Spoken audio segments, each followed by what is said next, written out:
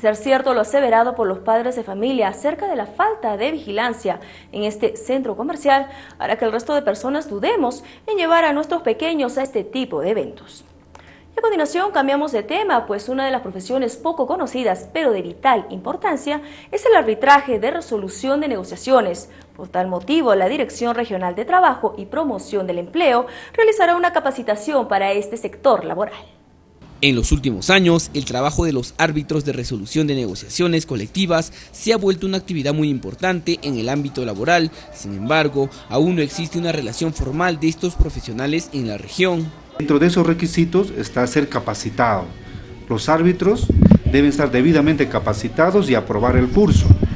Aprobado el curso, entonces eh, ese árbitro va a ser registrado para poder, para poder llevar a cabo las negociaciones colectivas.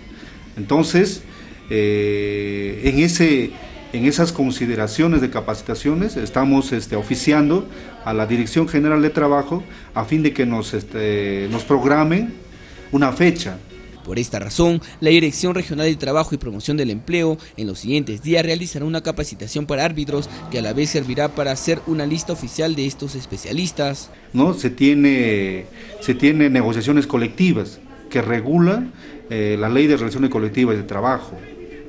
Entonces, en base a, las funciones que tiene el Ministerio de Trabajo de las negociaciones colectivas, ahí establece también este, llevar a cabo eh, las negociaciones colectivas eh, mediante, mediante árbitros.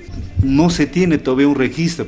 Esa es la finalidad de esta capacitación para poder tener un registro de árbitros. Entonces, luego de este curso de capacitación que se va a tener acá en la región Junín, nos vamos a poder contar ya con un registro de árbitros. Una iniciativa que esperemos dé buenos frutos en el ámbito de la resolución de problemas, teniendo en cuenta la importancia de esta actividad profesional en nuestra región.